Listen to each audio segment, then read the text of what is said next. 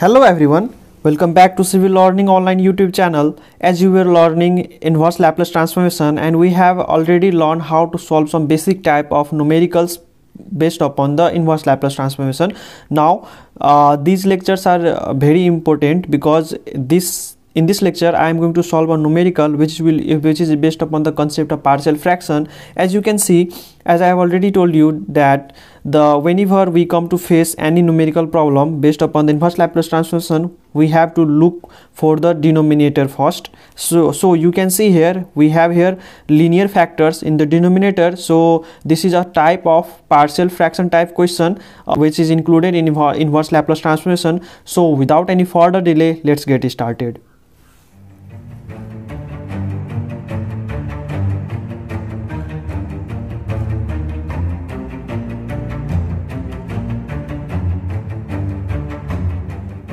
so guys our very first step is to look for the denominator and i have already mentioned that these are three linear factors. So here we have to split the split the numerator into different terms and how we can do this we are going to apply the concept of partial fraction. And if you guys haven't watched my series on partial fraction link is in the i section. You can watch it or also in the description. Which one you find feasible you can go through that. So i'm going to write here solution and we have here uh, p square plus 2p minus 3 upon p times p minus 3 p plus 2 and let's apply the concept of partial fraction. So in partial fraction we have here in denominator uh, we have three factors three linear factors. So we have to split it as a upon p plus b upon p minus 3 plus c upon p minus p plus 2 now what we will do? We will multiply these portion. We, we, we are going to multiply each and every term with this portion with denominator. We are going to do cross multiplication here but on only one side. So we will write p square plus 2p minus 3 as it is. So on multiplying this a by p with this much value p and p will get cancelled out. So a will get multiplied with p minus 3 times p plus 2 simply b. Now we have already multiplied this portion with this much. Now we will multiply this whole with this value. So p minus 3 will get cancelled out. So b will get multiplied with p times p plus 2 now c same is the case with c also. C we are going to multiply this whole with this much. So p plus 2 will get cancelled out. So we will have here c times p times p minus 3 okay. Now what we will do? We will we have to find the value of a b and c. How we can do this? See here. First of all we have to choose a number we have to assume a value of p as some uh, constant. Like if we assume p equals to 3 uh, we have to assume the value in such a way that other we will have only one variable to find out and all the other variables will become zero. Okay? So like we uh, we are about to find the value of uh, c suppose. So for that reason what we will do we have to make these two portions zero. How we can do this zero? If we assume p equals to minus 2 if if p equals to minus 2 so if we have p equals to minus 2 2 so it this portion will get converted to 0 if we put the value of p here equal p equals to minus 2 this will uh, become 0 so on multiplying 0 with any number this whole will become 0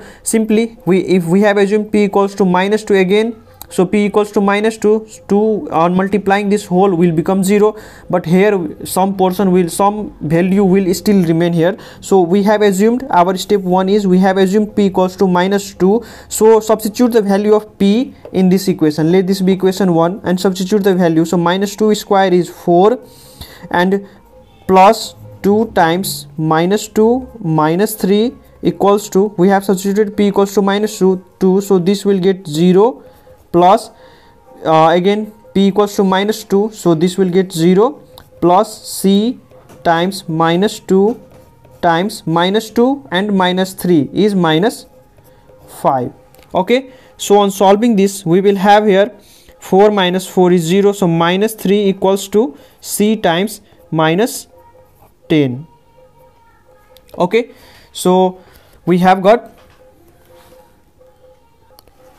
this minus and minus will get plus 10 so from here we will have c equals to minus 3 upon 10 now again if p equals to 0 we can take 0 also. If we take g, g, p equals to 0 so this portion this portion will become 0 and we will be able to find the value of a. So if we take p equals to 0 so what changes are going to happen in equation 1 see we put p equals to 0 so this portion is 0 this portion is 0 so we on LHS we will have minus 3 equals to 0 and a times minus 3 times p equals to 0 so 0 minus 3 is minus 3 and p plus 2 means 0 plus 2 is 2 and p 0 times this portion whole becomes 0 p 0 times this portion whole becomes 0 so 0 and plus 0 now from here we will be able to calculate the value of a equals to 1 upon 2 i hope you are getting my points. Now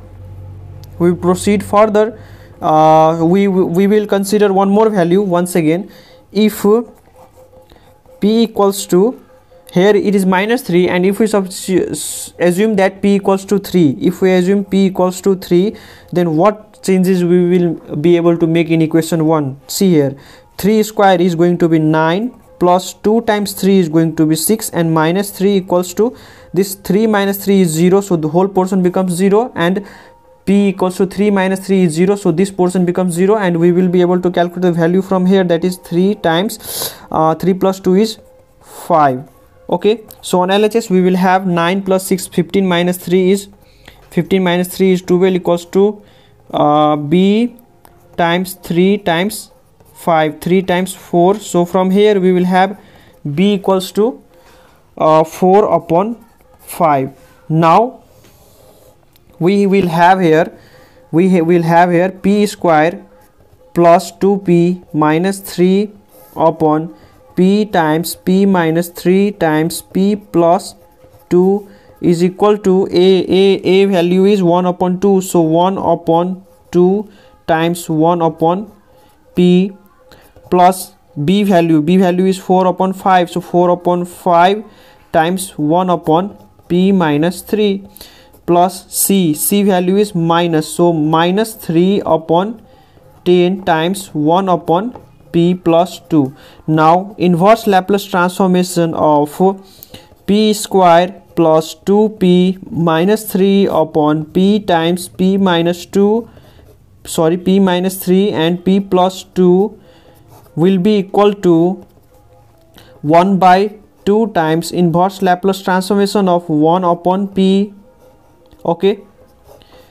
Plus 4 upon 5 times inverse Laplace transformation of 1 upon p minus 3 minus 3 upon 10 times inverse Laplace transformation of 1 upon p plus 2 now you already know the formulas like uh, inverse Laplace transformation of 1 upon p is 1 so 1 upon 2 times 1 I have already mentioned all the formula in the previous lectures.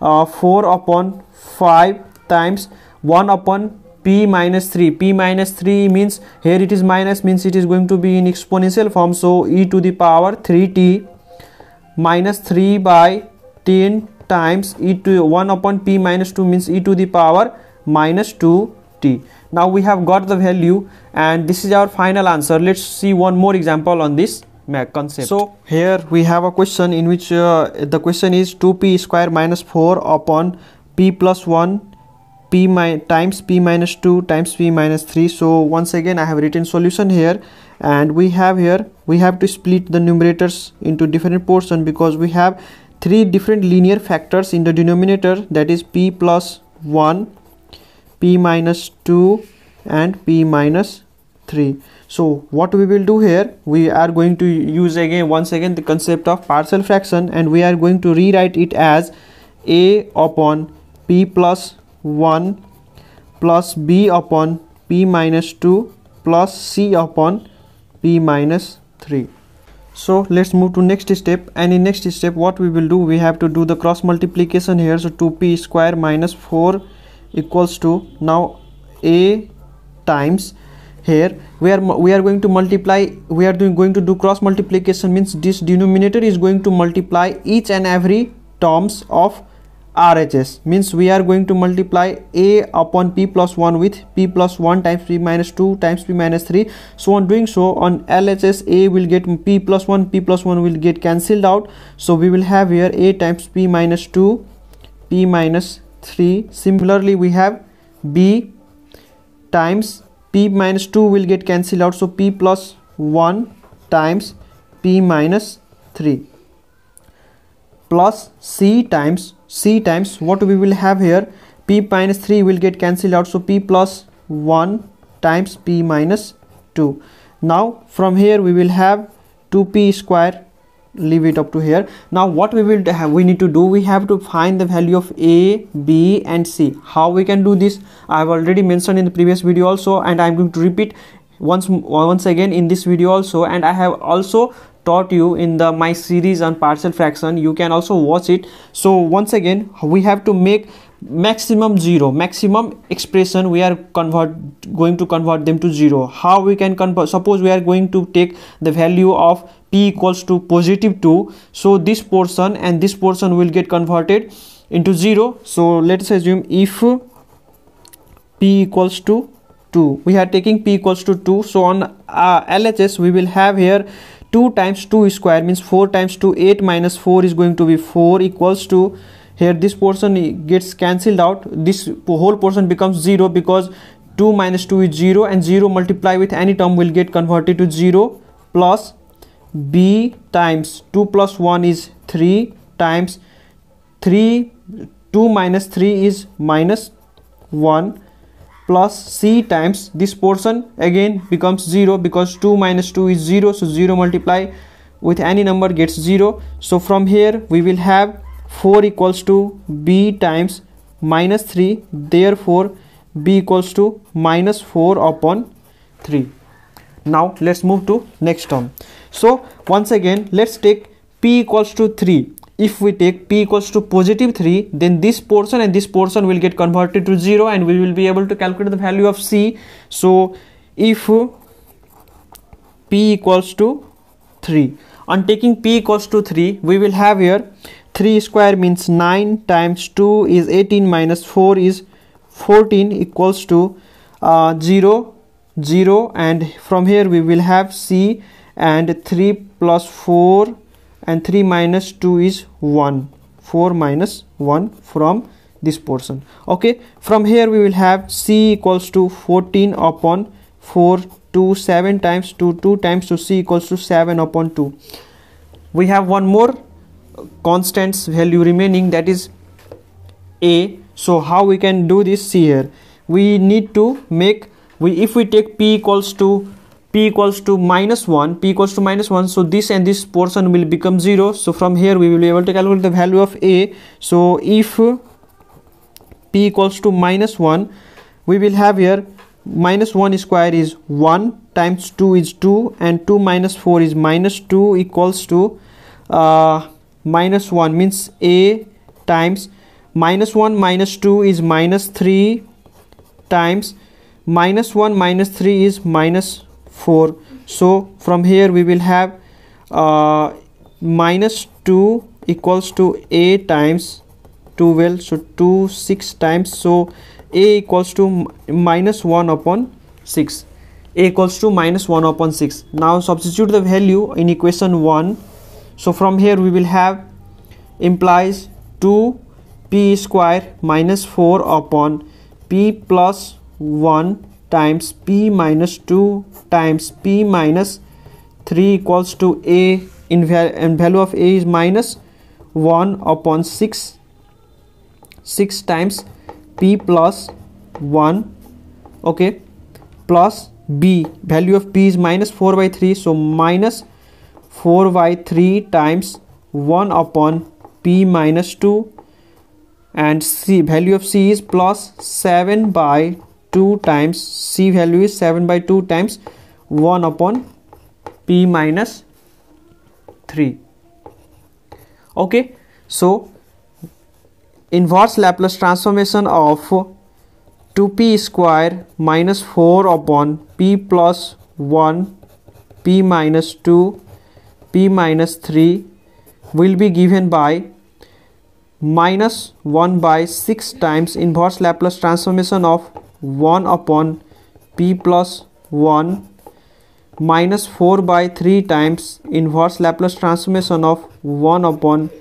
p minus 2 plus 7 by 2 times inverse Laplace transformation of 1 upon p minus 3 okay so from here we will have minus 1 upon 6 now use the inverse formula. Here we have it is in the form of 1 by p minus a p minus a means e to the power. Here it is sorry 1 by p plus a. So here it is positive. So we will mm, write it as e to the power minus a means 1 and t minus 4 by 3 times 1 by p minus 2 p minus 2 means e to the power 2t plus 7 by 2 times e to the power 3t and this is our final answer and i hope you enjoyed this today's lecture. See you in the next video. Till then stay safe and take care of yourself. And in the upcoming lecture we will discuss about some different concept uh, related to inverse laplace transformation. Do share this video with your friend and subscribe the civil learning online youtube channel